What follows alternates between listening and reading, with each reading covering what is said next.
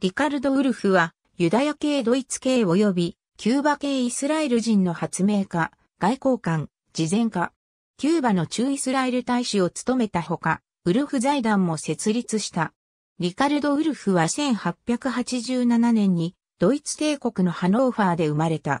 ハノーファーのユダヤ人社会の中心人物であったモーリツ・ウルフの14人の子供の一人であった。第一次世界大戦前、ウルフはドイツから第二の故郷となるキューバに移住した。1924年、彼は1920年代のテニス王者であるフランシスカ・スビラナと結婚した。長年の間、リカルド・ウルフは妖怪残砂の中から鉄を回収するプロセスの開発を行ってきた。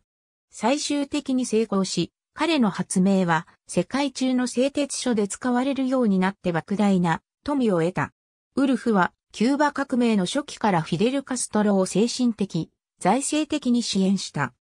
リカルド・ウルフによる継続的な支援と彼の外交官としての才能を見込み、キューバの指導者は1961年にウルフに駐イスラエル大使に就任してくれるように依頼した。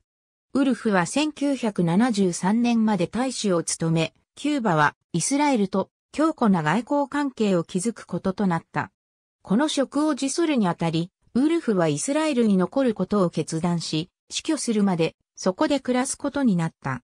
1975年、リカルド・ウルフはウルフ財団を設立した。